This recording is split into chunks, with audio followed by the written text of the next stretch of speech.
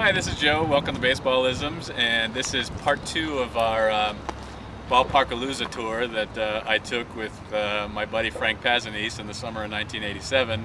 Um, the previous post was our adventures at uh, Yankee Stadium in New York, and now we're on to the second day, and we went down to Philadelphia, and we got up early that morning in New York and just flew on down the uh, Jersey Turnpike into Philadelphia and uh, we were pulling into town and uh, happened to turn on the radio station.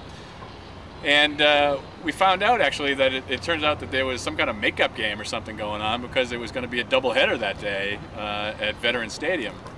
And uh, so we were like all excited hey that's great you know? We got two games that we were only expecting one that that night um, so we kind of had to scramble a little bit. We, we dumped the car at the hotel that we were staying at, and uh, we went running down to the uh, to the train to, that we were going to take down to Veterans. And uh, as we arrived in the platform station there, we uh, heard the sound that the doors were closing and the train was getting ready to take. And so, in our enthusiasm, we just bolted for the train, and we just ran in just as the doors were closing. And, and right behind us was this woman uh, that had seen us running and so followed us onto the train.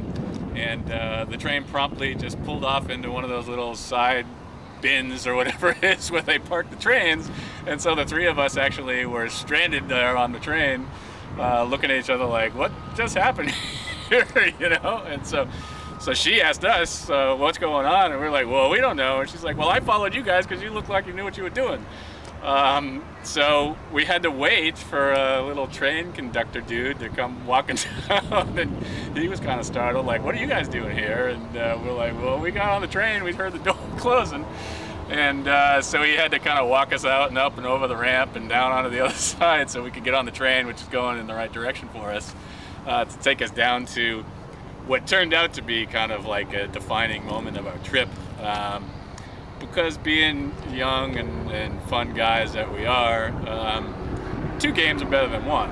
And so, uh, since it was a makeup game, it was an afternoon game, we got into Veteran Stadium and started having our beverages there nice and early in the afternoon and um, pretty much had the, uh, the stadium to ourselves that afternoon because uh, you know, it was, it was a time when people really hadn't even expected the fact that there was a game. So um, Frank and I just kind of wandered around and we were having our fun and uh, ended up sitting down on the right field foul line, uh, right by where the ball girl sits in, in Veterans Stadium there. And uh, so we just kind of got to know her a little bit. Her name was Paula. And Paula, if you're out there, then this is us crazy guys from 20 years ago that uh, ended up talking to you down there. Um, but we actually got her to sign an All-Star ballot because we had so much fun. She was our celebrity for that for that day. Um, and so it says, to Frank and Joe, love Paula. And uh, so we were smitten from that moment on. Um, but as I say, we started our beverages early that day. So the downtime between the first and the second game lended itself to have me kind of doze off a little bit at, at the ballpark. Um, while Frank did a little bit of exploring and just kind of wandered around Veteran Stadium in between games. And back then it was, you know, one of those things you didn't have to vacate or anything. You just left you there until the next game started. Um, but so we ended up sitting through two games that night. I kind of recovered a little bit in the second game. We saw the, uh, the Phillies play. Um, so that afternoon we saw two games. Um, it was just Frank and I that day. We saw the uh, Phillies and the Pirates play, so that would this would end up being the uh, first of two times that we saw the Pirates uh, on this particular trip.